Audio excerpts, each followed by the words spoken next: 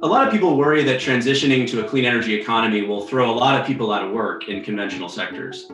What we find is that the opposite is true. A transition to a net zero greenhouse gas economy would lead to a net increase in employment and energy related activities.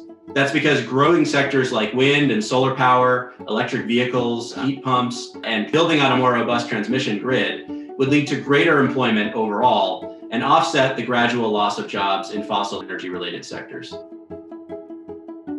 We conclude in the Net Zero America study that we could transition onto a path to net zero emissions that would require spending over the next decade about the same amount we spend today as a share of GDP.